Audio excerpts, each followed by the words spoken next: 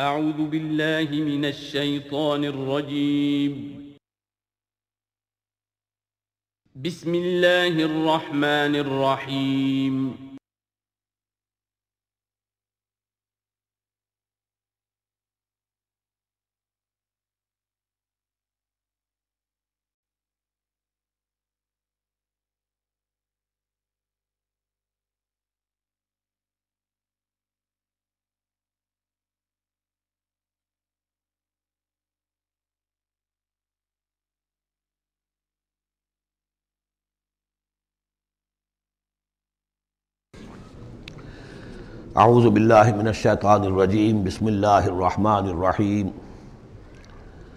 इक़रा बिस्म रब्बिकल्लज़ी खलक़ खलक़ल इंसान मिन अलक़ इक़रा व रब्बुकल अल्लज़ी अल्लम बिल क़लम अल्लमल इंसान मा लम यअलम सदक़ल्लाहुल अज़ीम रब्बि इश्रह ली सदरी व अमरी वहलुल उक़दतम मिन लिसानी यफ़क़हू क़ौली इससे पहले कई मरतबा ये अर्ज़ किया जा चुका है कि हुजूर पर जो पहली वही आई, तकरीबन इजमा है इस पर, कि वो ये पाँच आयात हैं सूरह अलग की। आपकी उम्र शरीफ जब 40 बरस के लगभग हुई, हज़रत आयशा सिद्दीक़ा रज़ी अल्लाह तहा की एक रिवायत में ये सारी चीज़ें मौजूद हैं। तो खलवत गुजरनी महबूब हो गई, गौर व फ़िक्र का गलबा हो गया। फिर आप गार हिरा में जाकर कई कई रातें कई कई दिन क़्याम फरमा होते थे। और शारहीन हदीस का इस पर इजमा है कि वहाँ आप क्या करते थे? काना सिफत ताबुदही फ़िगार हिरा तफ़क्र वाल गौर व फ़िक्र, सोच विचार। उसी में फिर एक दिन फरिश्ता आया है। फरिश्ते का आना और फरिश्ता क्या लेकर आया जिस पर कि उसने ये कहा, इकरा, पढ़ो। वो ज़रा बात है कि जो ज़रा पेचीदा है समझने की है वो अर्ज़ करूँगा आपसे। रिवायत यह है कि फरिश्ते ने कहा, इकरा तो हजूर ने फरमाया, माँ आना बेकारी। फरिश्ते ने अपने साथ भीचा लगा कर सीने के साथ फिर छोड़ दिया, कहा, कहो, इकरा। हजूर ने फिर कहा, मैं माँ आना बेकारी। तीसरी मरतबा फिर किया। तीन मरतबा करने के बाद फिर ये इकरा बिस्म रब कल्लती खलक। तो उसमें मेरे नज़दीक वो रिवायत सही है कि ये जो पहली वही आई है, ये माँ बैनल नौ में वल यकज़ा, जबकि आप नीम बेदारी और नीम खाबिदगी की कैफियत में थे। और फरिश्ता उस वक्त एक तख्ती पर लिखी हुई ये आयात लेकर आया था।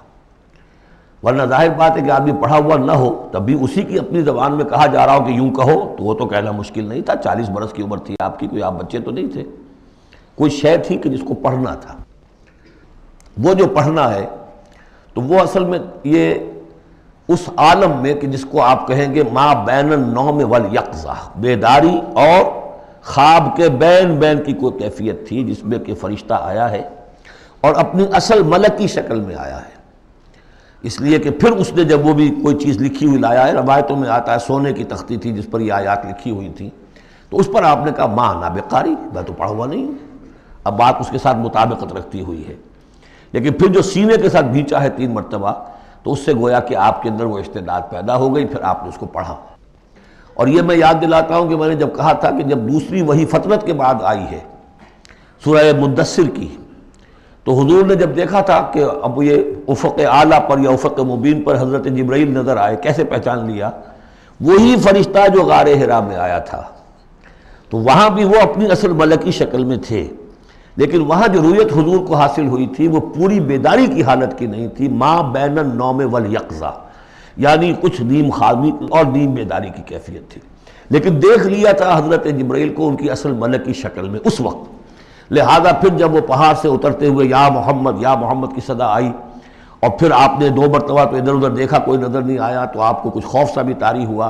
फिर अचानक निगाह उठी तो देखा कि वही फरिश्ता, कि वही के जो गार हिरा में आया था, इस तरह है कि आसमान, ज़मीन के माबेन उफ़क पर और इस तरह से है कि पूरा उफ़क भर गया। तो ये है इसका पस मंज़र। इकरा बिस्म रब कल्लजी खलक। पढ़ो अपने उस रब के नाम से जिसने पैदा किया। खलकल इंसान अमिन अलक। इंसान को पैदा किया, उसने उस जूं की तरह की चीज़ से कि जो रहम मादर में चिमट गई थी। इकरा व रब कल अक्रम। पढ़ो और तुम्हारा रब बहुत करीम है, बहुत करीम है, बहुत मेहरबान है। अल्लजी अल्लामा बिल कलम, जिसने कि तालीम दी है कलम के साथ। आम इंसानी तालीम कलम के ज़रिए से है। हुजूर के लिए कलम के दर्जे में फ़रिश्ता है। फ़रिश्ते के ज़रिए से हुजूर को सिखाया गया है। अल्लमल इंसान मालम यालम, और इंसान को सिखाया है जो कुछ के वो नहीं जानता था। इस वही से आपकी नबूवत का जहूर हो गया। नबी तो पैदाइशी तौर पर नबी होता है, लेकिन उसका जहूर हुआ है इस वही के साथ। अलबत्त इसमें कोई तबलीग का हुक्म नहीं है। वो तो फिर जब वो वही आई है, जब कोई फरिश्ते को देखा है उफ़ आला पर उफ़ मबीन पर, उसके बाद जब घर गए हैं, और फिर आप कंबल ओढ़ कर लेट गए हैं, दहशत की कैफियत तारी थी, फिर वो सूरह मुदसर की आयात नाजिल हुई। या युहल मुदसर कम फ़ानजिर वरब फ़कबिर वहाँ से फिर आपकी रिसालत का आगाज़ हुआ कि ए लिहाब में लिपट कर लेटने वाले, अब खड़े हो जाओ, इंजार करो, खबरदार करो लोगों को, और अपने रब की किबरियाई का ऐलान करो, और उसकी किबरियाई के निफाज की जिद्दोजहद करो।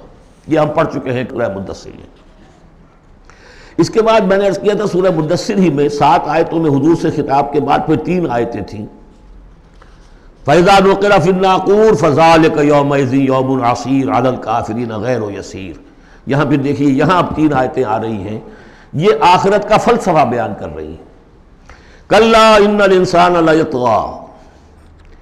कोई नहीं, इंसान तुहयानी पर, सरकशी पर, ज्यादती पर, जुल्म पर तादी पर आमादा हो ही जाता है। क्यों हो जाता है? वही हसास और जहीन आदमी जो बैठा गौर कर रहा है कि क्या हो रहा है माशरे में? क्यों जुल्म हो रहा है? क्यों तादी हो रही है? क्यों गलत रवि लोगों ने इख्तियार की है? हो जाता है इंसान। क्यों हो जाता है? और राह ना वो अपने आप को देखता है कि इस पर पकड़ कोई नहीं। अंगारा जबान पर रखूँगा तो जल जाएगी। झूठ बोलूँगा कुछ भी नहीं होगा। अगर मैं कहीं जहर खाऊँगा, मर जाऊँगा, हराम का माल खाऊँगा, कुछ नहीं होगा।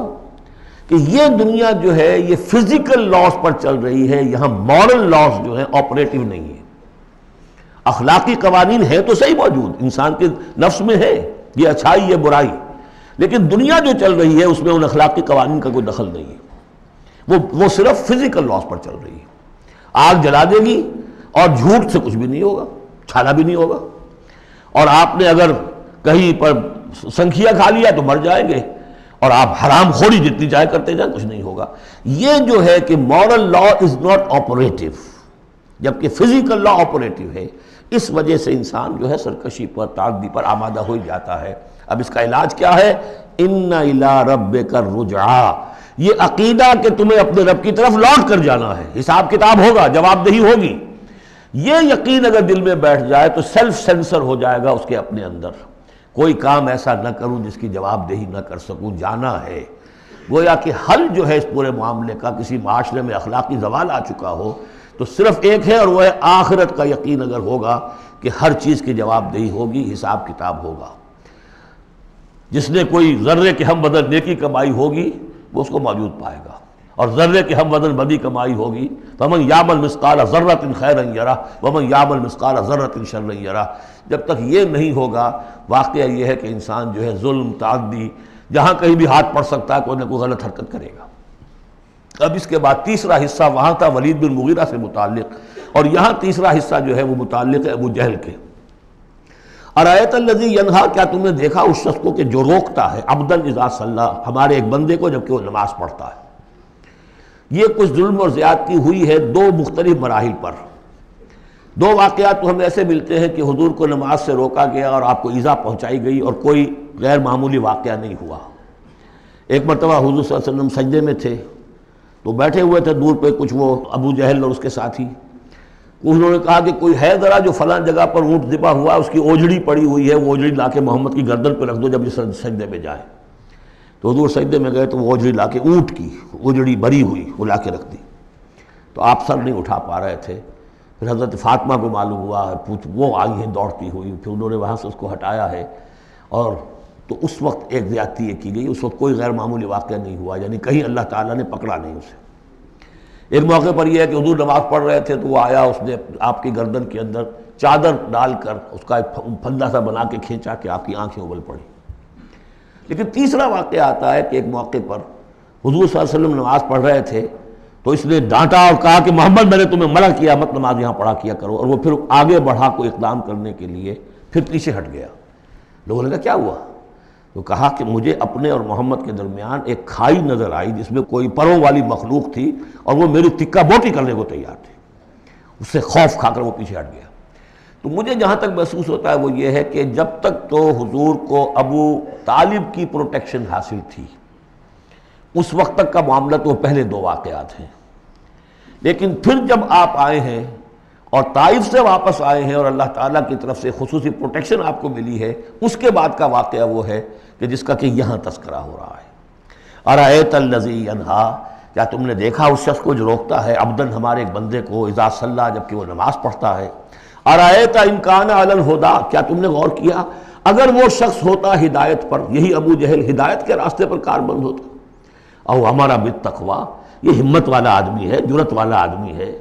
बखील नहीं था, उसने यही कहा था कि बनी हाशिम ने अगर लोगों को, गरीबों को खाने खिलाए हमने उनसे बढ़कर खिलाए अभी तक तो हम कंधे से कंधा मिलाकर आ रहे वो बखील नहीं था। फिर जरी था बहादुर था मैदान जंग में गया है लीड किया है लश, लश्कर को अपने। और जब गर्दन काटने लगे थे तो कहता था नीचे से काटना ताकि नेजे के ऊपर चढ़ाओगे तो मालूम हो कि ऊँची गर्दन है किसी सरदार की गर्दन है। तो ये चीज़ें उसके अंदर थी। मर्द मैदान था। लेकिन यह है कि वो जो सद्दा कबिल हौसला वाले मामले पे आके मार खा गए। लेकिन यह कि अगर यही शख्स ईमान ले आया होता हिदायत पर होता तकवा की तालीम देता तो आप समझिए फिर क्या होता? गोया कि एक और उमर फारूक मिल गया होता इस उम्मत को। बिल्कुल, इनकी शख्सियतों के अंदर बड़ा पैरल अंदाज है। हज़रत उमर भी लड़ने, भिड़ने वाले आदमी, कुश्तियाँ करने वाले आदमी, इधर से जा रहे हैं, उसको धक्का दे रहे हैं, इस मिजाज के आदमी थे। लेकिन यह कि बहर उनमें वो चीज़ मौजूद थी कि बुखल नहीं और बुजदिली नहीं। इन दो चीज़ों के बाद जो है, फिर यह कि तस्दीक बिलहुसना के लिए अल्लाह ताला ने एक रास्ता खोल दिया उनके लिए तो उनके वो उमर फ़ारूक बन गए। इसलिए कि दुआ की थी मोहम्मद रसूलुल्लाह ने। अरायता इन कज़बा वतवल्ला क्या तुमने सोचा कि इसने जो झुटलाया है और मुँह मोड़ लिया है? अलम यालम बेन अल्लाह यारा। क्या ये जानता नहीं कि अल्लाह देख रहा है? कल्ला है हरगिज नहीं। अगर ये बाज ना आया नस्वाम बिन नासिया। हम घसीटेंगे उसकी चोटी के बाल पकड़कर। नासियत इन काजिबत इन खातिया। ये पेशानी के जो खताकार है, झूठी है। फल यद ना दिया हूँ तो बुला ले वो अपनी पार्टी के लोगों को, बुला ले अपनी मजलिस के लोगों को, हम नशीनों को सनद जबानिया। हम बुला लेंगे जहन्नम के फरिश्तों को। कल्ला ला तो ते हो वस्जिद वक्त करीब ए नबी, आप उसकी बात न मानिए, आप सजदा कीजिए और अल्लाह से करीब हो जाइए। बसमीम इन्ना फ़ी फ़ीलतिलक़द्र ये देखिए, रब्त बड़ा उमदा चला आ रहा है। पहली वही के फ़ौर बाद। हमने उतारा है इसको ललतुल्क़द्र में। ममादरा का माँ ललतुल्क़द्र क्या तुम जानते हो क्या है ललतुल्क़द्र ललतुल्क़द्र खैर मिनल्फ़ शहर वो ललतुल्क़द्र सौ महीनों से बेहतर है। तनज़लमलाकत व रूह, वहाँ हम पढ़ चुके हैं तफसील से कि ये एनुअल बजट सेशन है अल्लाह ताला का इस दुनिया के निज़ाम के लिए। हर साल में जो कुछ होना होता है उसके फैसले हो जाते हैं। फ़ी हा युफ़रक़ कुल्लो अमरिन हकीम। इस शब में सब फैसले हो जाते हैं, अगले साल क्या कुछ होना है, और वो फरिश्तों के हवाले कर दिए जाते हैं। इशू हो गए ऑर्डर अब उनकी है इम्प्लीमेंटेशन युदबरमरमिनसमार्द सुम यारुजो है फरिश्ते जो हैं इम्प्लीमेंट करते हैं उन अहकाम को, और फिर वो रिपोर्टें जो है वापस पहुँचती हैं। तो इसी रात में कुरान मजीद के नजूल का आगाज़ हुआ। तनजरमलाय तनज़लमलाकत व रूह फ़ीहा बेज़न रब इस रात में उतरते हैं फरिश्ते भी, और अर्रूह, रूहुल अमीन, रूहुल कुद्स वो कि उनका ज़िक्र आमतौर पर अलहदा इसलिए किया जाता है जो अब दो दफ़ा पढ़ चुके हैं। अल्लाह शदीदुल्क़वा जो मिलरत फस्तवा। तो इनकी ख़ास शान है फ़रिश्तों में कि मुता हैं मुता सम्मा अमीन, उनके सरदार की हैसियत रखते हैं। तो तलजलमलाकत वर्रूह फ़ीहा बेजन रब अपने रब के हुक्म से मिनकुल अम्र, हर अम्र जो सारे फैसले हो चुके होते हैं आइंदा साल के उनके बारे में जो है उनको अहकाम दे दिए गए होते हैं। फ़ीहा युफ़रक़ कुल्ल अमरिन हकीम। ये हम वहाँ पढ़ चुके हैं। सलाम। और ये रात जो है अल्लाह ताला ने फिर इसकी बरक़ात ऐसी रखी हैं कि अगर इसमें कोई शख्स जो है अल्लाह का ख़ास तौर पर इबादत गुजार बंदा जो है उससे दुआ करे तो अल्लाह ताला उस दुआ को कबूल करता है। इबादत का जो अजर सवाब है, वो इस एक शब का, वो हज़ार महीनों के अजर सवाब से बढ़ जाएगा। हिया हत्ता मतलाइल फजर। ये फजर के तुलू होने तक ये रात है। अब इसके बाद एक सूरत जो आ रही है, इसके बारे में आमतौर पर आपको लिखा हुआ मिल जाएगा कि ये सूरह जो है ये मदनिया है, लेकिन ये कि ये अक्सर सूरतों के बारे में ये जो आखिरी हैं, हर कुरान मजीद में कोई ना कोई एक राय तो लिखी है, लेकिन जब तफसील देखते हैं तो बहुत सी आरा हैं इसमें, ये कोई एक राय नहीं होती। मैंने जब तहकीक की है तो हज़रत आयशा सिद्दीक़ा रज़ी अल्लाह तला के कौल के मुताबिक ये सूरत भी मक्की है, मदनी नहीं है। सूरतुलबैना बसमीम लम यकुल्लज़ीन कफ़र बिन अहल किताब वलमशरकिन मुनफ़ीन हत्ताताकियाबुलबैना नहीं थे वो लोग जिन्होंने कुफ्र किया था अहल किताब में से और मुशरकिन में से कि उन्हें अलहदा कर दिया जाता या बाज आ जाते, हत्ता तातिया बैना जब तक कि उनके पास बैना ना आ जाती। है ज़ाहिर बात है कि वो गुमराही में मुबतला थे, कोई बैन चीज़ आए, कोई वाज चीज़ आए, जिससे कि उनको महसूस हो जाए शूर हो जाए कि हम गुमराही पर हैं। और या इसका मफहम यह है कि जब तक बैन उनके ऊपर बात ना आ जाए, उस वक्त तक उन्हें काटा नहीं जा सकता, उन्हें अपने से अलहदा नहीं किया जा सकता, मुनफक जो है, ये दोनों तरीके से मानी देगा। अब काबिल गौर क्या बात है, वो बैना क्या है? रसूल मिनल्लातलू सहफ़म मतहरतन फ़ीहा कुतुबुलकैबा एक रसूल अल्लाह की जानब से, जो तिलावत करते हैं पाकिज़ा और की। और वो फ़ीहा, उन और में क्या है? बड़ी मज़बूत किताबें लिखी हुई हैं, अहकाम हैं अल्लाह के। किताब का लफ्ज़ ख़ास तौर पर मैं बताता आया हूँ आपको कि यह अहकाम शरीयत के लिए आता है। फ़ीहा कुतुबुलकैमा ये है वो चीज़ कि जब अल्लाह का रसूल अल्लाह की किताब लेकर आ जाए तो ये बैना अब हो गई। अब बात वाज हो गई, अब किसी शक व शुबे की गुंजाइश नहीं रही।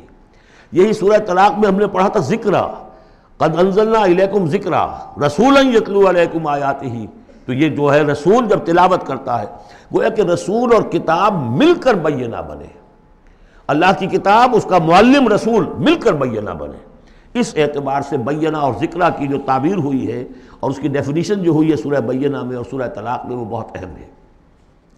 अब फरमाया, वमा तफर्रकल्लजीन अवतुल किताब बिबाद मा जातुलबैना ये जिन लोगों को किताब दी गई थी, इन्होंने जो पहले भी तफरका किया है आपस में, ये जो बट गए, ये कोई नसारा बन गए, कोई यहूदी बन गए।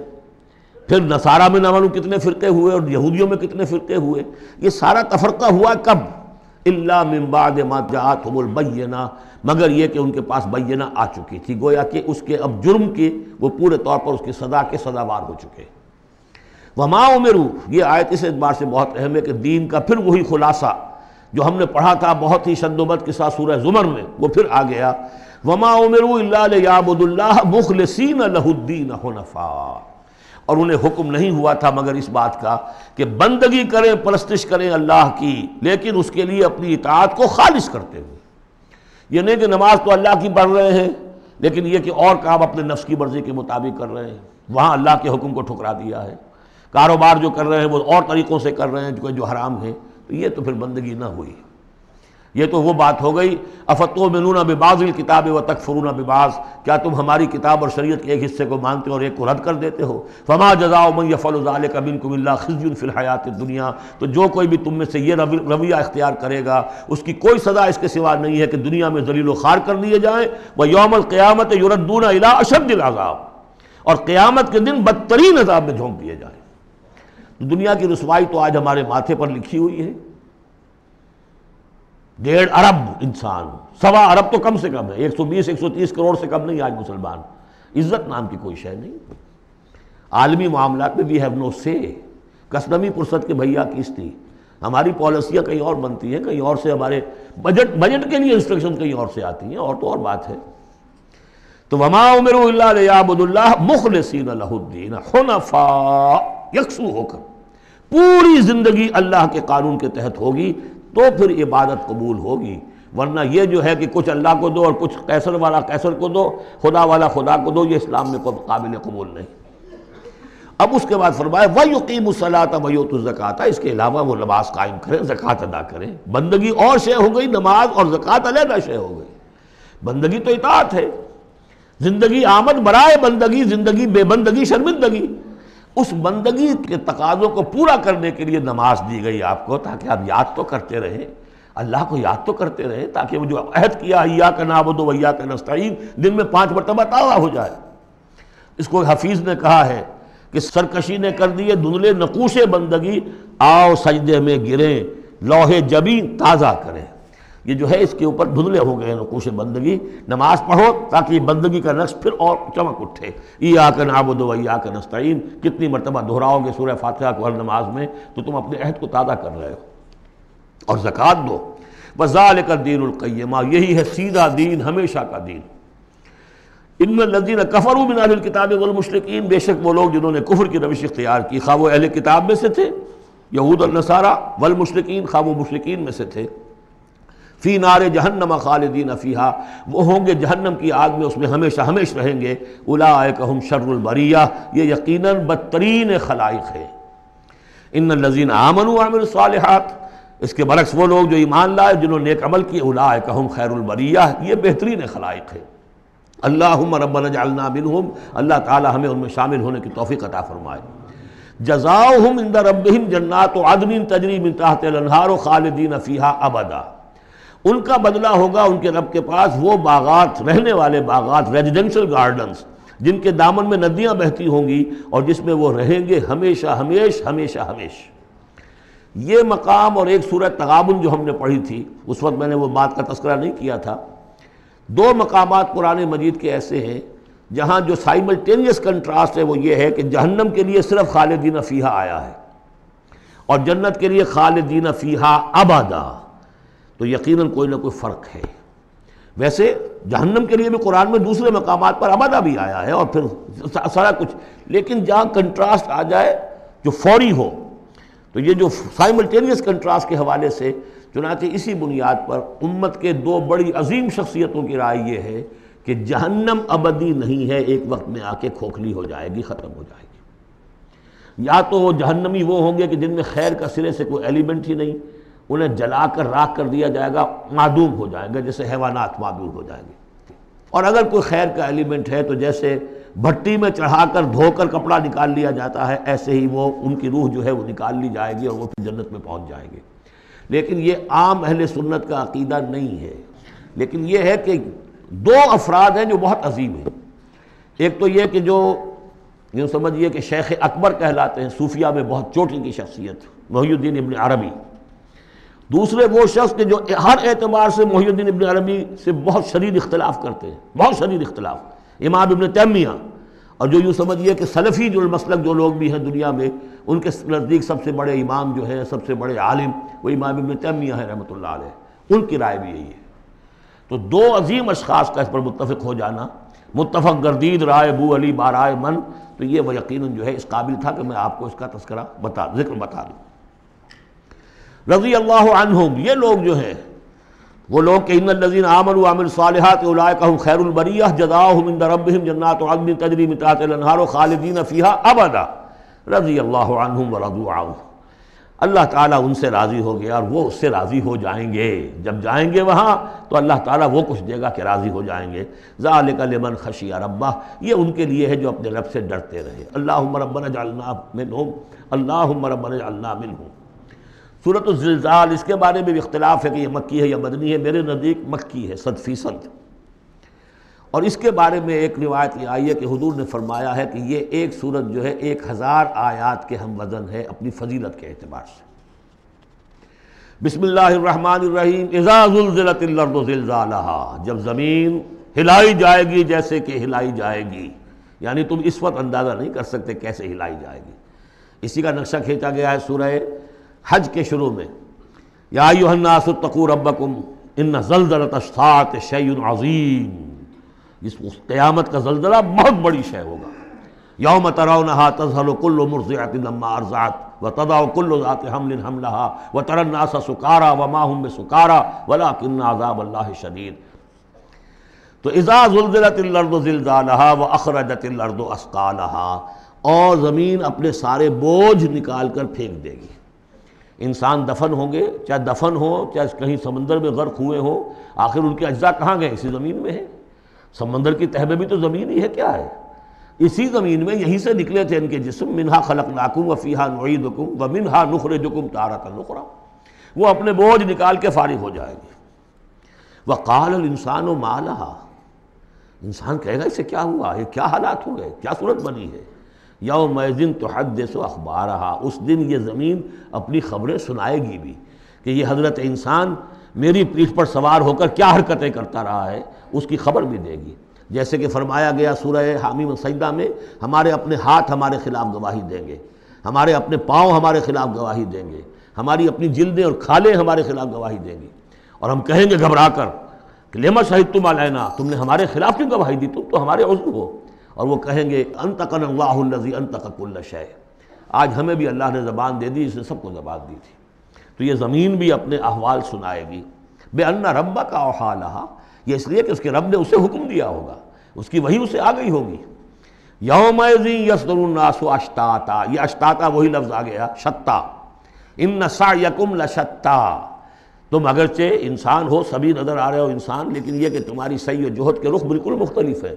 फ़म्मा मन आता व तका व संद कबिल हुसना फ़सन यसरसरा व अम्मा मम बखिला वस्तगना व कज़ब बिल हुसना फ़सन यसरसरा यहाँ फरमाया वो चीज़ अब वहाँ ज़ाहिर हो जाएगी योम दिन यसदरनास अश्ताता लोग अलहदा हो जाएँगे ले युरो आमाल ताकि उन्हें उनके अमाल दिखा दिए जाएँ ये अमाल नामा है कोई एक ही बटन दबेगा किसी उस बड़े जॉइंट कंप्यूटर का जो अल्लाह ने रखा हुआ है अपने यहाँ वो आपकी पूरी फ़िल्म और आपका एक एक लफ्ज़ जो है मौजूद है। फ़मन यामल मिसकाल ज़र्रतिन खैर यरा। तो जिस किसी ने ज़र्रे के हम वज़न भी कोई नेकी कमाई होगी, वो उसे अपने सामने मौजूद पाएगा।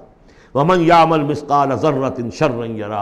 और जिस किसी ने नेकी बदी की होगी, ज़र्रे के हम वज़न, वो सामने अब ज़र्रा किसे कहते थे अरबी ज़बान में? आपने शायद कभी देखा हो कि ये चूटियाँ होती हैं, इन चूटियों के भी अंडे होते हैं। उन अंडों से जो बच्चा निकलता है, वो जर कहलाता है। अब ज़ाहिर बात है कि हर ज़बान के अंदर किसी शय के लिए, छोटी चीज़, हकीर चीज़ के लिए, उनकी अपने ऑब्जर्वेशन से वो चीज़ ली जाती है। जैसे मैंने आप फतीला, कि खजूर की नाफ में जो लगा हुआ होता है, छोटा सा एक तागा सा, वो फतीला है। नकीरा, वो क्या है? तिल। तो जो चीज़ें भी उनके यहाँ थी मतलब छोटा, जर्रे समराते हैं कि सबसे छोटी से छोटी शय। फ़मन यामल मिसकाल ज़र्रतिन शर्रा इसका लक्ष्य हम देख चुके हैं सूरह कहफ में। जब वो अमाल नामा रखा जाएगा वबूद किताब फ़तरल मुजरमीन मुशफ़ीन ममाफ़ी है वयकूलून या वाइतना हमाल हादल किताब, ला युगादर सगीरतम वला कबीरतन व वजदू मामिलू हादिरा। जो किया होगा, मौजूद होगा। ये चार सूरतें जो जिलजाल से शुरू हुई हैं, ये एक मिजाज की है। इसमें वही आखरत का इंतज़ार बहुत ही, यानी बिल्कुल जिसको कहा जाए कि दो टूक अंदाज में। सूरतुलआदियात बसमीम वलआदियात दबहन, फ़लमूरियात कदहन, फ़लमगीरात सुबहन फ़ासर बही नक़न फ़वसत न बही जमा ये पाँचवीं और आखिरी सूरत है उस उसलूब की जो साफ़ात से शुरू हुआ था। वह साफ़ात सफ़न फ़जाजरात जजरन, फिर आई वजारियात ज़रवन, और फिर उसके बाद आई वलमुरसलात उर्फ़न, फिर आई वन नाज़ात गरकन, और ये आखिरी है। वल आदियात दबहन और इन कस्मों के बारे में भी इजमा है इनके मानी में कोई इख्तलाफ नहीं है। वो घोड़े के जो दौड़ते हैं हाँपते हुए। कसम है उन घोड़ों की या गवाह है वो घोड़े जो दौड़ते हैं हाँपते हुए। फलमूर यात कदन फिर वो अपने सुमों से चिंगारियाँ निकाल रहे होते हैं। जब वो कि, किसी पत्थर के साथ टकराते हैं तो चिंगारी निकलती है। फल मूरियात कदहन फल मुगीरात सुबहन। और फिर वो अलग सुबह in the small hours of the morning जाकर गारत गरी करते हैं। ये अरबों का जो कल्चर था, उनकी जो तहजीब थी लूट मार और लूट मार के लिए उनका वक्त मुकर था small hours of the morning जबकि बहुत सुकून से लोग सोए हुए हैं। ठंडी ठंडी हवा चल रही होती है। बहुत ही मरीज़ को सारी रात भी अगर नींद ना आई हो तो उस वक्त आ जाती है। वो वक्त ऐसा होता है। उसमें जाते थे वो बर्क रफ्तारी के साथ घोड़ों पर जाकर लूट मार किया, कत्ल किया और फिर भागे वहाँ से। ये उनका आम जो है कल्चर है, लेकिन इसमें इस्तेमाल कौन हो रहा है? घोड़ा। अच्छा ये घोड़ा जो है, फिर उनकी जंगों में भी इस्तेमाल होता था, जबकि आमने सामने जंगे हैं। वो जंगों के अंदर जाता था। हालाँकि उसकी तो किसी से लड़ाई नहीं है। वो सिर्फ़ अपने मालिक की वफादारी कर रहा है, जो उसे कुछ खिला देता है, कोई दाना डालता है, कोई कभी उसके जो है, वो मालिश कर देता है। उसका इतना वफादार है कि फरमाया फलमुगीर रात सुबह फ़सर न बही नका और फिर जाकर वो गर्द उठाता हुआ दौड़ कर जाता है फवसत न बही जमा और जमीयत के अंदर घुस जाता है। आपको मालूम पिछले ज़माने में क्या होता था? लेकर नेज़ा और या कोई और शय जो है, वो सवार घोड़े को लेकर दौड़ा है। किसमें? दुश्मन के अंदर सफ़ों में घुस रहा है और तीर आ रहा है, घोड़ा मर रहा है, होता है। तलवार लगी है, घोड़ा मर गया है। तो घोड़ा ये रिस्क क्यों ले रहा है? ये है असल में इस सूरत की जो असल मरकज़ी बात है। महज ये बात, इंसान जो उसका मालिक है, उसका खालिक नहीं है। सिर्फ़ यह है कि उसे दाना डालता है, उसे घर पे बांधता है, उसकी सेवा करता है। इस सिर्फ़ दाना देने और सेवा करने पर उसके अंदर इतनी वफादारी है कि वो अपने मालिक की ज़रा सी एड़ की थोड़ी सी उसका इशारा होता है और हवा की तरह बात करता है। जहाँ उसको हुक्म होता है, वो दौड़ता है, अपनी जान जोखों में डालता है।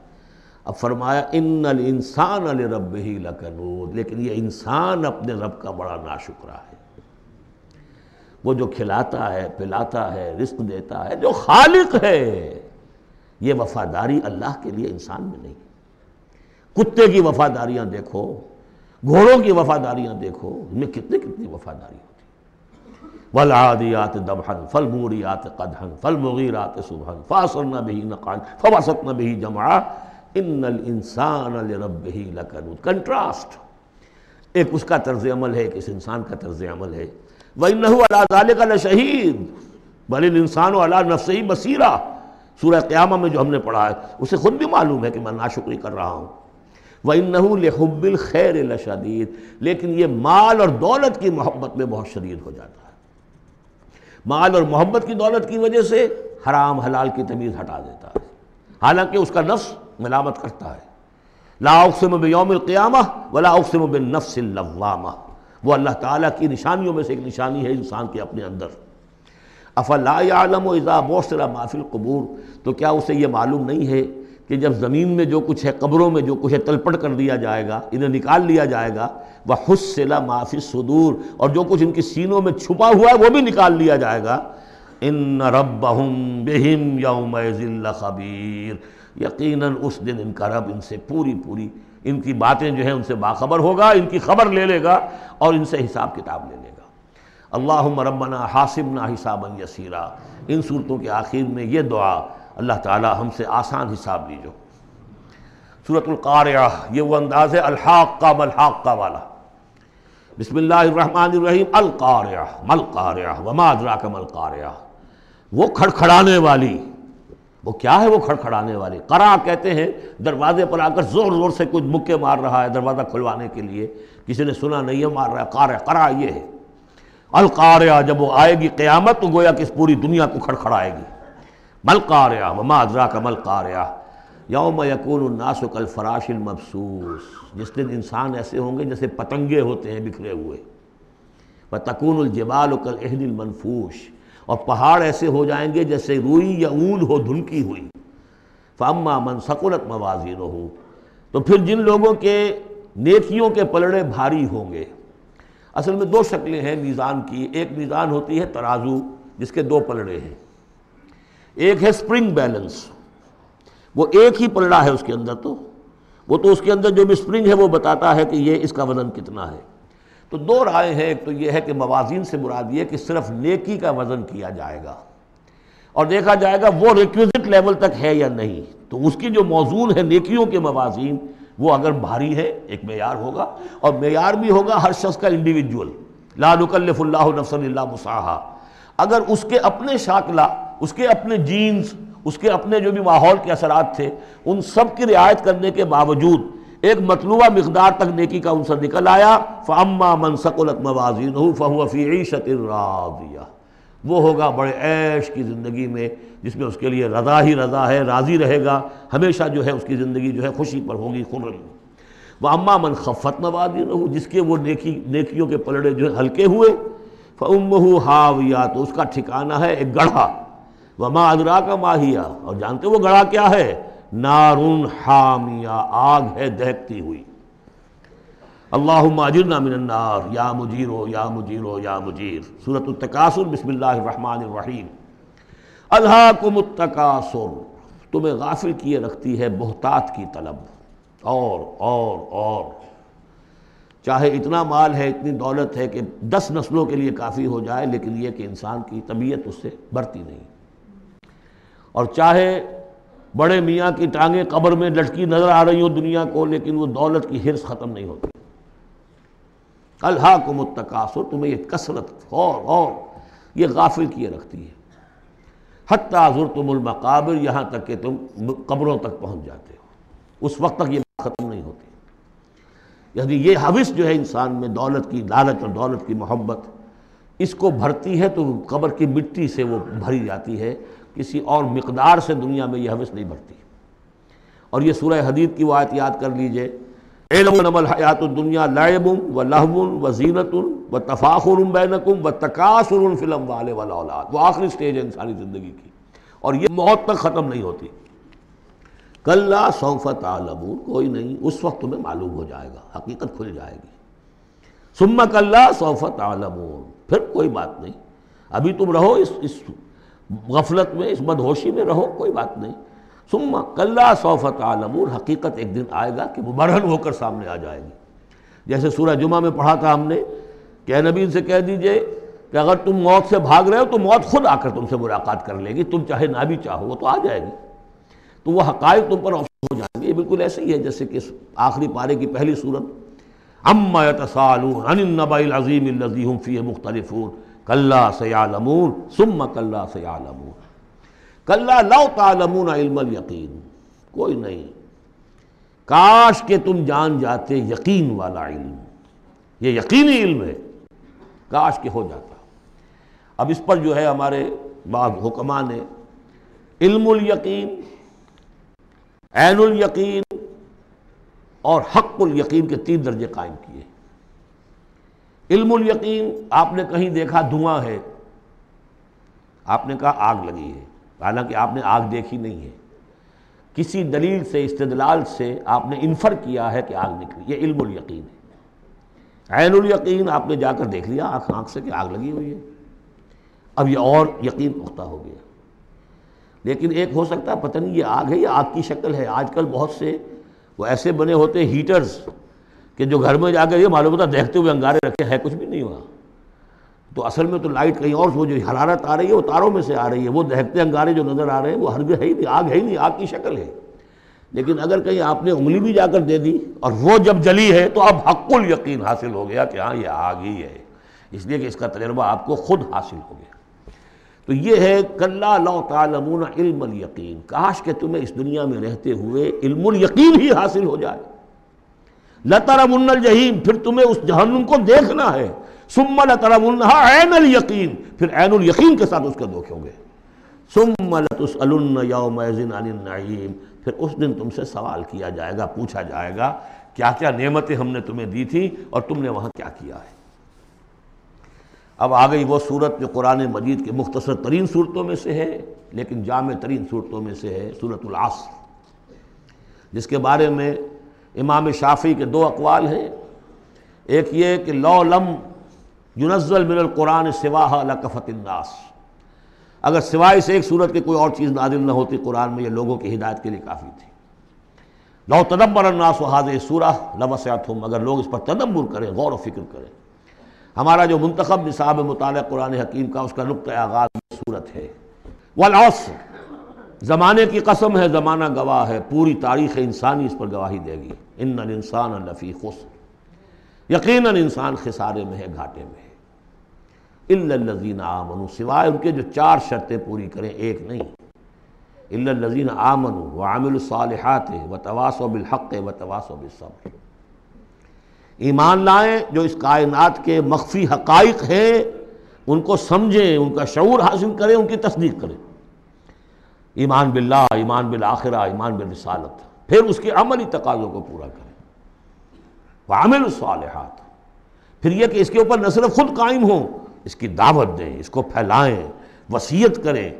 जो भी हक है, जो भी सही बात है, अमर बिल मारूफ है, नहिल मुनकर है, तवासो बिल हक।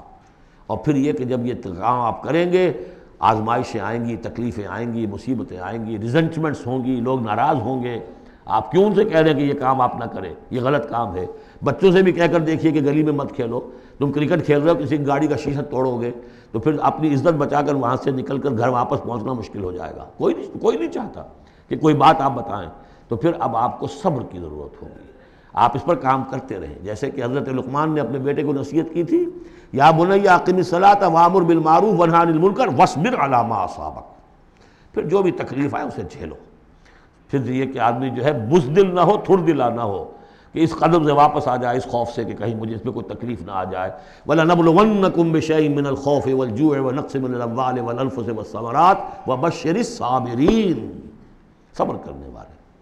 वलासर इंसान नफ़ी खुसर इल्लज़ीन आमन आमिल सालहात व तवास बिलहक़ व तवास बिसब्र अल्लाहुम्म रब्बना जअलना मिनहुम अल्लाहुम्म रब्बना जअलना मिनहुम जो इस रास्ते पर नहीं चलते उनका किरदार की एक झलक दिखाई जा रही है ये सूरत हमजा जो है बिस्मिल्लाहिर्रहमानिर्रहीम वैलुल्कुल्ल हमज़तिल्लो मज़ा इंसान के सामने कोई हाई आइडियल नहीं अगर होता कोई आला नस्बुलश नहीं है तो वो पस्ती की तरफ़ फिर उसकी दिलचस्पी क्या होगी? कुछ चुगलियाँ खाता फिर रहा है, किसी को ताने दे रहा है, किसी की गिबत कर रहा है, किसी की इज़्ज़त पर हमला कर रहा है, किसी का माल हड़प कर रहा है, फिर उसकी शख्सियत के अंदर ये पस्ती आ जाएगी।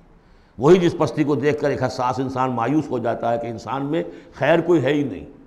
ये तो गोया कि गंदगी की एक पोट है। किसी से पूछ लीजिए, कोई कहेगा सेक्स, और सेक्स इतना कि बाप अगर बेटी को मोहब्बत भरी निगाह से देख रहा है तो वो भी सेक्स है। माँ अगर बेटे के जिसम पर कोई शफकत से हाथ फेरे तो उसको भी सेक्स है। यहाँ तक पहुँचा तो ये कि इंसान के अंदर कोई आला जज्बा कोई आला फ़िक्र है ही नहीं। किसी कोई कोई बताया नहीं इंसान तो मेरा हैवान है, गंदगी की पोट है। कोई शख्स जो है बड़ा ऊँचा वास कह रहा है, और कोई जेर लब मुस्करा रहा होगा कि ये वास जो फरमा रहे हैं, अपना रोब गांठना चाह रहे हैं ये। कोई इनकी और कोई गर्ज होगी कोई शायद को नजराना मिलना हो इन्हें, जिसके लिए वास फरमा रहे हैं। वास तो बड़ा उमदा है, लेकिन इंसान जानता है कि बड़े घटिया इंसान के बिलूम जो मोटिव्स हैं, इंतहाई घटिया होते हैं, जिससे कि इंसान की यानी फितरत से इंसान जो है मायूस हो जाता है, कि शायद इंसान में कोई खैर है ही नहीं। इसीलिए वो चार कस्में खाई थी व तीन व जैतून व तूर सीनीन व हादल बलदमीन लकत खलक इंसान अफ़ी आसन तकवीम। क्या मोहम्मद इंसान नहीं थे? क्या मूसा इंसान नहीं थे? क्या ईसा इंसान नहीं थे? क्या नूह इंसान नहीं थे? इंसानी अजमत के ऊपर इतनी बड़ी बड़ी गवाहियाँ मौजूद हैं। लेकिन जब पस्ती पर आता है तो वाक़ है कि इससे पस्त कोई नहीं, फिर असफला साफिलीन जितना कीना इंसान में पैदा हो जाता है, ऊँट के अंदर नहीं है। जितनी शहवत इंसान में पैदा हो जाती है, सुअर में नहीं है उतनी। ये सारी चीज़ें जो है, नक्काली जितनी इंसान करता है, उतना आप कहीं किसी बंदर में नहीं देखेंगे नक्काली करते हुए। और जितना यूँ समझिए कि इंसान के अंदर खूंखारी पैदा हो जाती है, भेड़ियों को मार दे जाता है इंसान। जो कुछ होता है, जब नेशनलिज्म का भूत सवार होता है सर पर, बच्चों को छोटे छोटे बच्चों को उछाल कर बल्लमों में और नेज़ों के अंदर कौन पिरोते रहे? इंसान पिरोते रहे। सन सैंतालीस में पिरोए गए कि नहीं? वो इंसान थे, भेड़िए भेड़िए से ज़्यादा। कोई भेड़िया ऐसा काम नहीं करेगा। वैलुल्कुल्ल मदत मज़ा, बड़ी ख़राबी है उस शख्स के लिए। कि जो ऐब चुनता रहता है लोगों के और ताने देता रहता है। अल्लजी जमा मालम वादा जिसकी सारी सही जहद इसी में रही, माल कमाया और उसे गिनता रहा। अब मेरे एसेट्स इतने हो गए, आज की बैलेंस शीट इस साल की जो है, उसमें ये ये इजाफे हो गए। यह सब अन्ना मालहू अखलदा, कुछ गुमान ये करता है शायद कि इसका माल इसे हमेशा बाकी रखेगा। ज़ाहिर बात है, आदमी जानता है मुझे मरना है। लेकिन इसी माल को सर्व करके वो कोई ऐसे निशानात दुनिया में छोड़ के जाना चाहता है कि जिससे उसका नाम ज़िंदा रहे। पिरामिड्स क्यों बनाए गए? Calm and self possessed still and resolute the pyramids ये हराम है मिस्र इतने ऊँचे ऊँचे। हज़ार हा इंसान उस पर लगे रहे होंगे, तब ये बने होंगे। कितनी बड़ी बड़ी चट्टाने, कितने लोग उनके नीचे दबकर मरे होंगे। Pyramids echo unto eternity, the defiant cry of man's will to survive and conquer the storms of time. तो माल से इंसान ने अपने नाम को ज़िंदा रखने की कोशिश की है। कल्ला हरगिज नहीं। लयुम बजन नफिल होतमा। ये झोंक दिया जाएगा होतमा में। ममा अदरा कमल होतमा हो। तुम जानते हो कि वो क्या है? होतमा क्या है? नारुल्लाहिल मुकदा। वो आग है, सुलगाई हुई, अल्लती तत्तलफ़ेदा जो दिलों के ऊपर भड़केगी अब ये आग कौन सी होगी? एक तो हमारे ज़माने में एक साहब थे, अगरचे वो कोई आलिम दीन तो नहीं थे, अंग्रेज़ों की फ़ौज में रहे थे तो कुछ उन्होंने चीज़ें पढ़ी थी। वो इस होतमा को एटम से ताबीर करते हैं। और एटम का जो होती है, जो आपको मालूम है कि फिर उससे जो फैलती है उसकी, चाहे वो बरह रास्त आग नहीं होती, वो उसका फॉल आउट जो है, वो वो यकीन जो है कि जो चीर के इंसान के वजूद को चला जाता अंदर। ये चीज़ें हैं। कौन कौन सी आगे हैं? आप समझिए, एक आग तो वो है लकड़ी से हमने जलाई है, वो जल, जलाती है तो इसको जलाती है। एक आगे वो, आग वो है जो इंफ्रा रेड रेज है अल्ट्रा वायलेट रेज है, या कोई और रेज है, ये खाल को कुछ नहीं कहती, अंदर जाके जिस जिस आप जिसम के जिस हिस्से को चाहते हैं, उसे हरारत पहुंचाती है। वो आग जो है नारुल्लामुकदालती तलफ़ेदा दिलों पर जाकर वो रोशन होगी। इन नहा सदा फिर वो उन पर बंद कर दी जाएगी ताकि सारी हरारत उन्हीं के ऊपर रहे। फ़ी आमदिम ममदा बड़े ऊँचे ऊँचे लंबे सतूनों में। अब जो दस सूरतें रह गई हैं, इनमें से अक्सर का ताल्लुक सीरतुलनबी से है अलैहि वसल्लम। और इसमें सबसे पहले जो है अरब का वो जो माहौल उस वक्त का था जिसमें अपने हजूर पैदा हुए हैं आपकी वलादत एवं बासादत हुई है, और उसके कुछ वाक़ात की तरफ़ और उनका जो माशी उस वक्त का मामला था, ख़ासतौर पर क्रैश का, उसकी तरफ़ इशारा है। हजूर की विलादत हुई है आबुल फील में, जिस साल के आया था अब रहा यमन से फ़ौज लेकर और वो बैतुल्लाह को गिराना चाहता था। उसका एक लंबा तारीख़ी पस मंज़र है, ईसाई था वो। उसने कलीसा बनाया था। वो चाहता था जैसे लोग जो है आते हैं बैतुल्ला में हज करने के लिए हजूम होता है, ऐसे ही यहाँ कलीसा में आए, वहाँ कोई आया नहीं। बल्कि कोई अरब ने जाकर शरारत भी की, वहीं जाकर वो ग्रफ़ हाजत कराया अंदर। उस पर जो गुस्सा, उसे चढ़ा उसने कहा कि अब इनका जो है, ये बैतुल्ला में ढाऊँगा। वो फ़ौज लेकर आया है, जिसमें हाथी भी थे। इसीलिए वो असाबुलफ़ील कहलाते हैं। लेकिन अल्लाह ताला ने अपने उस घर की हिफाजत फरमाई मौजाना तरीक़ पर। छोटे छोटे परिंदे भेजे हैं, जो समंदर की तरफ़ से गौल के गौल आए। और उनके चोंचों में और उनके पंजों में छोटे छोटे कंकर थे। लेकिन वो कंकर जब वो ऊपर से आ रहा है तो वो गोली का काम करता है, उसकी जो वेलोसिटी है और मोमेंटम जो बनता है, उसका ऊपर से गिरने की वजह से तो उसने गोलियों का काम किया और पूरी फौज जो है तहस नहस हो गई। अलम तरा कई फ़फ़ाल रब कभी असाबिल फील। क्या तुमने देखा नहीं? क्या हशर किया तुम्हारे रब ने उन हाथी वालों का? अलम यजाल कैदहम फ़ी तदलील। क्या उसने उनकी तमाम तदबीरों को और जो दाव उन्होंने लगाया था, बेकार और गैर मुसर नहीं कर दिया। वारसल आलहिम तौर नबाबील और उन पर भेज दिए झुंड के झुंड उड़ते हुए जानवरों के परिंदों के, तरमीहिम बेहिजारत मिन सजील जो उनको रमी करते थे। ये रमी की यादगार दर हकीकत उसी की है जो हज में जाके की जाती। तरमीहिम, रमी। वो उनको मारते थे, बेहिजारत मिन सजील कंकरियाँ, वही कंकरियाँ, संग गिल। ये मुआरब है फ़ारसी से। वो छोटी कंकरियाँ जो रेत की बनी होती हैं कहीं अगर सहरा में हल्की सी बारिश हो जाए तो एक एक कतरे के साथ थोड़ी सी जो वो, जिसका रेत मिल जाएगी, फिर उस पर धूप पड़ी और वो पक गए। वो कंकरियाँ कहलाती है संगे गिल, मिट्टी की का बना हुआ पत्थर। वो कंकरियाँ हैं कि जो मारी गई हैं। फजाला हम कासिम माकूल, फिर उन्होंने कर दिया उन्हें ऐसा जैसे कि भुस जो कि खाया गया हो। जानवरों के आगे आपने चारा डाला, वो खा लिया, फिर को जो कुछ पड़ा रह जाता है इधर उधर उस तरह का कर दिया, उनका नाम और निशान मिटा दिया। और ये सन है जिसमें कि हुजूर की पैदाइश हुई है। बाद लोगों का, बाद रिवायात से मालूम होता है कि पचास दिन बाद, और बाद का कहना यह कि नहीं उसी दिन विलादत हुई है हजूर की सल्लल्लाहु अलैहि तो ये एक अहम वाक़ था सीरतुलनबी के, गोया कि आपके एन विलादत से गोया जो मुतसिल है।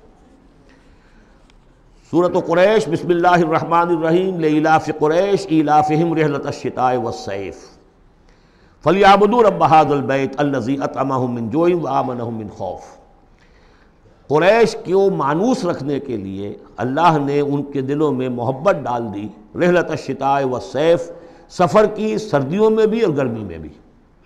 इसमें इशारा हो रहा है कि जो ईस्ट वेस्ट ट्रेड में क़ुरैश को मोनोपोली हासिल हो गई थी। पहले ये ट्रेड कौम सबा के हाथ में थी, जबकि उरूज का दौर था यमन का। तो होता ये था कि हिंदुस्तान से और जावा और मलाया और सुमाट्रा बोर्नियो और चीन से सारा जो सामान्य तजारत आता था वो यमन के साहिल पर, क्योंकि नहर स्वेस तो थी नहीं। अब एक तरफ़ वो है फार ईस्ट, एक तरफ़ है यूरोप, और यूरोप को और फार ईस्ट को मिलाने वाले कोई कोई आबनाए नहीं है, पानी और वो रास्ता जो है round the Cape of Good Hope, वो तो चौदह में वास्कोडी गामा ने तलाश किया है। गोया कि हजूर की बेसत के बाद, आठ सौ बरस बाद। उस वक्त क्या शक्ल थी? कि सारा यूरोप का सामान्य तजारत आया था, था फ़िलिस्तीन के साहिल पर शाम के साहिल पर। और यहाँ से सारा माल आकर उतरता था ये यमन के साहिल पर। तो कुछ अरसे पहले तक तो कोई डेढ़ दो सौ बरस पहले तक हुजूर से ये सारी तजारत यमनियों के हाथ में थी। यमनी काफ़िले लेकर चलते थे यहाँ से इस माल को ले गए वो वहाँ तक शाम तक फिर वहाँ से माल ले आए। और ये एक तरह से गोया कि ईस्ट एंड वेस्ट जो ट्रेड थी उसमें उन्हें की पोजीशन हासिल थी। फिर जब सैरुलम आया है, उन पर सैलाब आया है, वो तबाह बर्बाद हो गए तो फिर यही ईस्ट वेस्ट ट्रेड जो है, ये कुरैश के हाथ में आ गई। और उनको ख़ास तौर पर प्रोटेक्शन ये हासिल थी कि चूँकि ये खाना काबा के मुतवली थे, और वहाँ तमाम कबीलों के बुत रखे हुए थे, गोया कि सब के खुदा हॉस्टेज थे इनके पास। लिहाजा इनके काफ़िले पर कोई हमला नहीं कर सकता था। किसी और का काफ़िला बच के जा नहीं सकता। उस काफ़िले को लूटते थे बदू और उसको यह है कोई हिफाजत नहीं होती थी, लेकिन कुरैश का काफ़िला बदू दूर रहते थे कि ये तो खाना काबा के मुतवली हैं। और अगर हमने इनका काफ़िला लूटा, ये हमारा बुत उठा के फेंक देंगे बाहर, वो खाना काबा से। इसलिए इन्हें, इस खाना काबा की वजह से वो पोजीशन हासिल हुई कि इन्हें तवंगरी और दौलतमंदी हासिल हो गई। और फिर ये ऐसा करते थे, सर्दियों के ज़माने में ये अपना चक्कर लगाते थे यमन का। और गर्मियों के ज़माने में जाते थे शाम की तरफ़, फ़िलिस्तीन की तरफ़, क्योंकि वो गर्म इलाका है तो वो सर्दियों में और ये चूँकि ज़्यादा ठंडा इलाका था, वो गर्मियों में। ले इलाफ़ कुरैश, इस वास्ते के मानूस रखा कुरैश को इलाफ़िम रहलत शिताए व सैफ, उनके दिलों में वो इलाफ से मुराद क्या है? कि सफ़र जो है उनका जाड़े का और गर्मी का, उससे उनको गोया के मानूस कर दिया। फल याबदू रब्बा हाजर बैत। बस उन्हें बंदगी करनी चाहिए, परस्तिश करनी चाहिए इस घर के मालिक की, इस घर के रब की। इन्होंने यहाँ ला के तीन सौ साठ बुत रख दिए हैं। इन्हें चाहिए था कि खलूस और अखलास के साथ जो इस घर का असल मालिक है, जिसकी तोहद के लिए ये मरकज़ बनाया था इब्राहिम ने, इनके जद्द अमजद ने, और कहा था कि रब्बना यकीमसलाह तेरी तेरी नमाज़ कायम करने के लिए मैंने ये घर बनाया है। तो उसको इन्होंने जो है, उसको बुतकदा बना दिया। दुनिया के बुतकदों में पहला वो घर खुदा का, हम उसके पास माँ हैं, वो पास माँ हमारा। तो करना ये चाहिए था, अल्लजी मिनजू जिसने कि इन्हें ताम पहुँचाया और भूख से निजात दी, इन्हें गजा दी, इन्हें दौलत दी। वह आमना मिन खौफ, और इनको अमन दे दिया है खौफ से कि इनके काफिलों के ऊपर किसी हमले का खौफ और अंदेशा नहीं होता। अरब में जो भी अखलाकी अब मामला हो चुका था, उस वक्त जबकि हदूर की बेसत हुई है उसका नक्शा अब आ रहा है सूरतुलमाउन में। यानी यह कि ऐसा नहीं था कि सिरे से उनके यहाँ कोई कोई वैल्यूज़ रही ना हो, लेकिन यह कि तलपट हो जाती हैं वैल्यूज़ और यह कि कुछ चीज़ें होती हैं कि जिनकी हकीकत नहीं रहती, सिर्फ़ उनकी रस्म रह जाती है। जैसे आज हमारा हाल है, रह गई रस्म अज़ा रूह बिलाली न रही, फ़लसफ़ा रह गया, तलकिन गजाली न रही। तो उनके यहाँ भी ये आ चुका था कि अब वो चूँकि जजाओ सदा के तस्वुर से महरूम हो चुके थे, लिहाजा आरायत लजी युकज़बुद्दीन क्या तुमने देखा उस शख्स को? जो जजाओ सदा का इनकारी है। कोई जदा सदा नहीं, कोई बासे बादल मौत नहीं। इन्हीं अल्लाह हयात न दुनिया, नमूत व नाहिया, वमा युहल कुना दार। इस दुनिया की ज़िंदगी के सिवा कोई ज़िंदगी नहीं। हम खुद मरते हैं, खुद जीते हैं और हलाक करने वाली शय गर्दिश अफलाक के सिवा और कोई नहीं। हम कोई खुदा उदा को नहीं मानते। ऐसे लोग भी थे उनमें। ज़ाहिर बात है कि उस शख्स का किरदार कैसा हो जाएगा जो जजा और सदा का मुनकर है? वो तो यही होगा, बाबर बैश कोश के आलम दोबारा नहीं जब कोई और ज़िंदगी दोबारा है ही नहीं, यही ज़िंदगी है, खाओ, पियो, ऐश करो, जहाँ हाथ पढ़ सकता हो डालो, जो चीज़ हासिल कर सकते हो कर लो। क्यों झिझक रहे हो कि ये बुरा है और ये अच्छा है और ये जायज़ है और ये नाजायज़ है? फिर तो तरीका यही होगा तो वो किरदार क्या बनता है? अगर जजा सज़ा का इनकारी होगा इंसान तो किरदार क्या बनेगा? फ़जाल कल्लजी यतीम वही है कि जो यतीम को धक्के देता है। क्यों खिलाए यतीम को? कौन सा फ़ायदा है उसे से वला यहुद वाला तामिल मस्किन, और किसी मस्किन को खाना खिलाना खुद तो दरकिनार, किसी और को भी उसके लिए कोई तलकीन करने को तैयार नहीं। इसलिए कि अंदेशा ये है कि मैं उसे तलकीन करूँगा तो पलट कर मुझसे ना कहे कि तुम क्यों नहीं खिलाते? फ़वैलमसलिन इनके यहाँ नमाज़ तो है, नमाज़ का हुलिया इन्होंने बिगाड़ दिया है, वो सूर्य अनफाल में हम पढ़ चुके हैं, सीटियाँ बजाते थे, तालियाँ बजाते थे, लेकिन वो नमाज़ समझते थे उसे। वो तवाफ़ करते थे खाना काबा का और उसमें सबसे ऊँचा तवाफ़ समझते थे इसको कि मादर ज़ात बरहना होकर तवाफ़ किया जाए। ये सारे तकल्लुफ़ात ख़त्म करके, और बिल्कुल जैसे दुनिया में आए थे, अल्लाह ने जब हमें भेजा था तो अल्लाह के घर में आए तो उसी तरीके से आए, जैसा कि अल्लाह ने दुनिया में हमें भेजा। अब उनके ये तस्वुरात थे। फ़वैलमसलिन लजीन हमन सलातम साहून। तो तबाही है, हलाकत है, बर्बादी है उन नमाज़ पढ़ने वालों के लिए जो अपनी नमाज़ों से गाफिल हैं। उसकी रूह ख़त्म हो चुकी है। शक्लें भी बदल दी गई हैं। हमारे यहाँ अल्लाह का शुक्र है, इस उम्मत में शक्ल नहीं बदली है। सल्लु कमा रहे तो मोनी उसली अल्लाह का फजल है। उस तरह की बिदात वहाँ हमारे यहाँ नहीं है। लेकिन यह है कि रूह जो है, रूह नमाज़, हजूर कल्ब, आदमी नमाज़ पढ़ रहा हो तो एहसास हो कि मैं किसके सामने खड़ा हूँ। और फिर जो कह रहा हो उसको समझ रहा हो। और खलूस इखलास से कह रहा हो ये का नाबुद वही आ का नस्ताइन फिर उस पर अमल करता हो, वो कहाँ, कितने हैं? एक रस्म है। रह गई रस्म अदा रूह बिलाली न रही। फ़लसफ़ा रह गया, तलखीन गजाली न रही। नमाजो रोज़ो कुर्बानी हज, ये सब बाकी हैं, तू बाकी नहीं। है अल्लजीन हम सलात साहून, अल्लजीन हम युराऊन। और अगर कोई नेकी का काम करते हैं तो दिखावे के लिए। ताकि उससे कुछ शोहरत मिले। बड़ा, बहुत सखी आदमी है। यम नऊन अलमाऊन, लेकिन उनकी शख्सियत के अंदर पस्ती का आलम यहाँ तक आ गया है कि आम इस्तेमाल की चीज़ें भी मांगे तांगे नहीं देते। अरब में भी रिवाज था, भाई कहीं से किसी के चूल्हे में से कोई अंगारी ले आओ ताकि हम आग रोशन कर लें। नमक है, किसी से मतलूब है तो उसका कोई झिझक नहीं होती थी, नमक दे दिया जाता था। लेकिन वो लोग इन चीज़ों में भी आकर शकी हो जाता है। सूरतुल कौसर, इस पस मंज़र में मोहम्मद रसूलुल्लाह का जहूर हो रहा है। ये तीन सूरतें जो हैं इसने पस मंज़र रखा। एक ने तारीख़ी, एक ने उनका माशी और इकतसादी। एक ने उनकी अखलाक़ी और मजहबी हैसियत। सूरतुलफ़ील वो तारीख़ी वाक़ जो है ज़ाहिर बात है बहुत बड़ा वाक़ उसका बड़ा चर्चा हुआ होगा, हजूर की बेसत के साथ मुतल लेकिन दूसरी तरफ़, बैतुल्लाह और उसकी वजह से, कुरैश को, उसके मुतवली होने की वजह से जो अमन हासिल था और जो इन्हें अल्लाह की तरफ़ से रोज़ी पहुँच रही थी। तीसरे उनकी अखलाक़ी पस्ती जिस हद को पहुँच गई थी, उसमें जब जहूर हो रहा है मोहम्मद रसूलुल्लाह की नबूत का, ये सूरतुल्कौसर बसमीम इन्ना आतना कल कौसर फ़सल रब कवन हर इन नशान या कहो लबतर। ए नबी, हमने आपको खैर कसीर अता किया। इस खैर कसीर में यूँ तो ये कि हौज़ कौसर, वो भी इसी में शामिल है। लेकिन ये कि इस पर आपको पच्चीस तीस कॉल मिल जाएँगे। कुरान सबसे बड़ा खैर कसीर है। बहुत बड़ा खैर कसीर हमत ममन यूतर हमत फ़कत या खैरन कसीरा। जिसको हमत और दानाई दे दी गई, उसको तो खैर कसीर दे दिया गया। तो हमने आपको वो सब कुछ अता कर दिया है और मोहतात के साथ अता कर दिया है, जो इंसान की इंसानियत के लिए, उसके लिए यूँ समझिए कि तुर्रा इम्तियाज़ बन सकता है। फ़सल रब का वनहर। बस अपने रब के लिए नमाज़ पढ़ा कीजिए। और नहर कीजिए, ऊँट कुर्बान किया कीजिए। ये गोया कि ईद अज़हा का नक्शा आ गया। फ़सल रबिक पहले हम नमाज़ पढ़ते हैं दोगाना दोगाना ईद अज़हा, और फिर जाकर हम कुर्बानी करते हैं। वन हर। इन नशान या कहो लबतर यकीन आपका दुश्मन ही है कि जो दुम कटा हो जाएगा। इसका पस मंज़र ये है कि जब हजूर के एक साहबजादे बचपनी में फौत हो गए तो कुछ जो कुफार थे मक्के के, उन्होंने बड़ी खुशियाँ मनाई कि एक ही बेटा था, बाकी तो इनकी बेटियाँ हैं। आपको मालूम है कि चार बेटियाँ थी हजूर की, सल्लल्लाहु अलैहि वसल्लम। लेकिन ये कि बेटा जो था वो एक ही था, वो अल्लाह ने उठा लिया। तो बड़े खुशियाँ मनाई गई कि ये तो अब दुम कटा जैसे होता है, जिसका कोई पीछे नाम ना रह जाए। बेटियों से तो नाम चलता नहीं, नाम तो चलता बेटों से। तो अब इनका तो कोई तस्करा ही नहीं रहेगा, कोई बात नहीं। जब तक ये हैं हैं, आगे कोई नाम लेने वाला नहीं। तो फरमाया कि नहीं, इनको तो करोड़ों बेटे अल्लाह अता करेगा, करोड़ों अरबों बेटे अता करेगा। हाँ ए नबी, आपका दुश्मन ज़रूर है कि जिसका नाम लेवा कोई नहीं रहेगा। ये जो है सूरत, सूरतुल काफिरून, ये गोया के एक ऐलान होता है आखिरी किसी नबी की तरफ़ से कि जबकि वो अपनी दावत पेश कर चुका हो, इतमाम हजत कर चुका हो, हर तरह से बात वाज हो चुकी हो और कौम उसकी ना मान रही हो तो फिर वो ऐलान बरात करता है। अब मेरा तुमसे कोई ताल्लुक नहीं।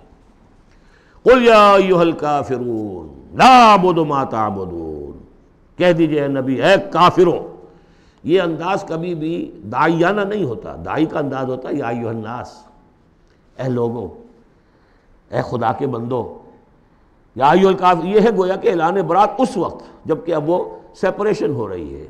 आप देखेंगे, लकुम दीन हुकुम वल दीन, ठीक है। तुमने जो था, अपने लिए चुन लिया, अब तुम्हें मुबारक हो। मेरा दीन वो है जिस पर मैं कायम हूँ। तो गोया कि अब तुम हमारे तुम्हारे दरमियान डायलॉग भी ख़त्म है। बोलिया यूहल काफिरून लाबुदमा ताबुदून, मैं हरगिज़ पूजने वाला नहीं उसको जिन्हें तुम पूछते हो। वला अन तुम आबिदून माबुद, न तुम पूजने वाले उसको जिसे मैं पूछता हूँ। इसमें नफ़ी हो रही है। वो कहते थे, हम तो अल्लाह को भी पूछते हैं।